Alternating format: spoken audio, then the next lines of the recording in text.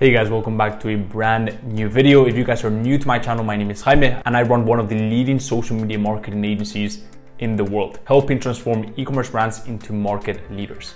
Now, what I want to do in this video is share with you the top three killer mistakes that you're making with your cold emails. These mistakes cost me a lot of pain, a lot of sweat and tears, and most importantly, a lot of money. And they're probably doing the same for you because these are three very common cold email and outreach mistakes in the social media marketing agency space, in the agency space in general. So if you wanna know how to solve these mistakes and what to say instead, all you gotta do is keep on watching.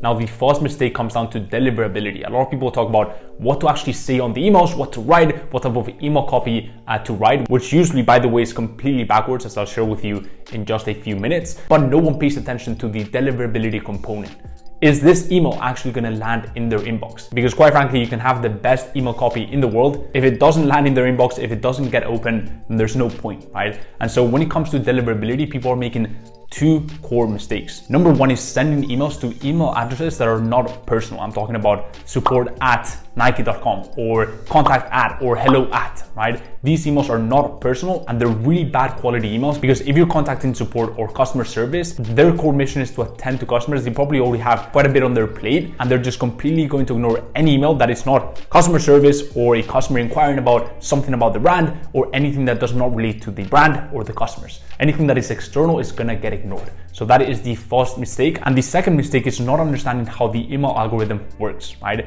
If you wanna land in people's inboxes so that you can actually get your emails open, you want to make sure that your email address is warmed up so that email gateways let your email through, right? If they see that your email is not warmed up or that it has a negative score because you haven't really sent many emails or you haven't really received any emails, it's probably gonna mark it as spam and you're never gonna reach their inbox. So it is absolutely crucial to warm up your email and increase the health of your email address. There's a few things that you should be taking a look at. Number one is SPF, number two is DKIM, number three is DMARC, and number four is a custom domain. I'm not gonna get into each of those because quite frankly, it's a bit boring. And not only that, but this video would go on for 25 minutes. But the great thing is that most people never talk about SPFs or DMARCs or DKIMs, and now you know. So go ahead and do a bit more research on those and make sure that they're implemented for your email address. It's going to yield a higher deliverability rate and it's going to build your reputation for your email address. So that is the first killer cold email mistake and now to the second one. Now the next mistake people are making is uh, they're not smashing the like button for the algorithm. In all seriousness guys, it really helps out a ton with the algorithm, the whole channel and uh, keeps me motivated to create these videos for you guys so you can kill it with your agency and crush it with your sales and outreach. So if you're finding value in these videos, go ahead and smash the like button for the algorithm. And with that being said, let's get back into the video.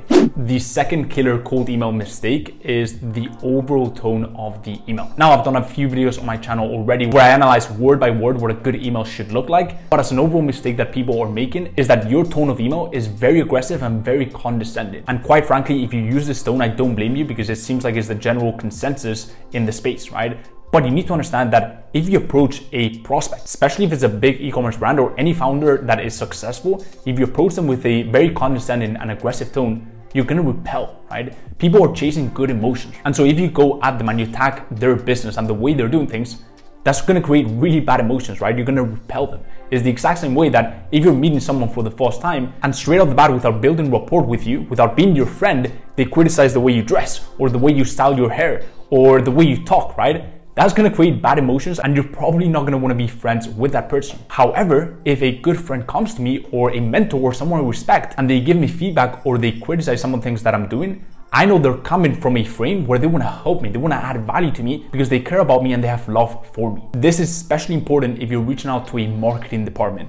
If you reach out to a marketing department and you are aggressive or you are condescending and you tell them you're leaving money on the table and you're not doing this and this and that, right?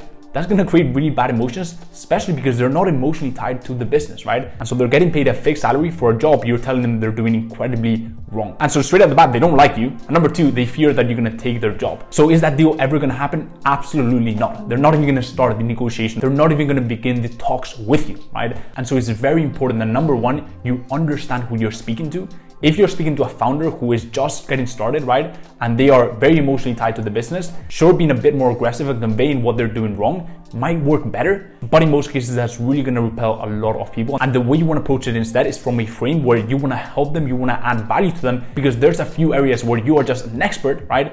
and you truly believe that you can add a whole new dimension to their business in that facet, right? That is so much more positive, and that is something that they're going to be willing to listen to. And that is something that's much more likely to resonate with them and to land much better. To close this point off, the other day I was going through my free Facebook mastermind. It's an incredible community, by the way, if you're not part of it. I highly recommend it, uh, full of agency owners just looking to scale up uh, and change their lives. But essentially, I saw this guy who posted a really rude response uh, from a cold email that he has sent. Um, basically, the prospect was really mad, uh, was really rude as well. Um, and there's absolutely no doubt that there are people who are very rude, who are having a bad day, and they will respond very angrily to your email. And yeah, overall, they're very rude, and it's not something that you want to see. Because sure, you should just ignore it and move on to the next one, but it kind of hurts, especially when you are just starting out. Now, I got a few of those at the beginning of my journey, um, but when I actually changed my tone of email, right? And it wasn't so aggressive and so condescending. I actually stopped getting some of those responses. And obviously, bear in mind, it wasn't like 100 a day, right, of, of those responses, but it was maybe one, two uh, every single month. And now maybe it's like one every six months because obviously you're always gonna have that person who's just angry at themselves and, and who's just having a really, really bad day. But my point is, if you're getting really bad responses, right, and you're also not getting really good responses, that's probably because you're triggering your prospects, right? And your prospects really do not like the tone of your email. So don't just listen to the people that tell you, oh, just brush it off and you know keep going, right? They're just having a bad day. It's a reflection of you know their reality, not not yours, right? No, as much as they are rude, that is absolutely true, right? You want to make sure that you tweak your tone if you're getting a lot of that, right? Because it's simply too aggressive and too condescending. So that is the second killer cold email mistake, and now to the final mistake. The third killer cold email mistake is the email copy.